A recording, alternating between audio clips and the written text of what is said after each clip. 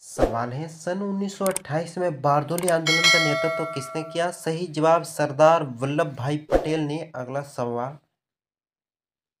खालसा पंथ की स्थापना किसने की थी? सही जवाब गुरु गोविंद सिंह ने। अगला सवाल।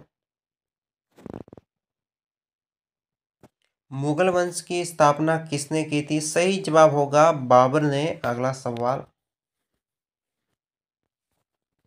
भारत की पहली महिला आईपीएस अधिकारी कौन थी? सही जवाब, किरण बेदी। अगला सवाल। कथक किस राज्य का शास्त्रीय नृत्य है? सही जवाब होगा, उत्तर प्रदेश का। अगला सवाल। टीपू सुल्तान की राजधानी कौन सी थी? सही जवाब, श्रीरंगपट्टनम। अगला सवाल। चाइना मैन शब्द किस खेल में प्रयुक्त होता है? सही जवाब क्रिकेट में। अगला सवाल। सबसे कठोरतम पदार्थ कौन सा होता है? सही जवाब होता है हीरा। अगला सवाल।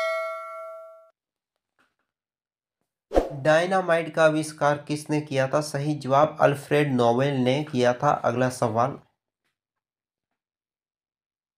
बिस्मिल्ला खान का संबंध किस वाद्य यंत्र से है? सही जवाब होगा सहनाई से। सब्सक्राइब करें चैनल।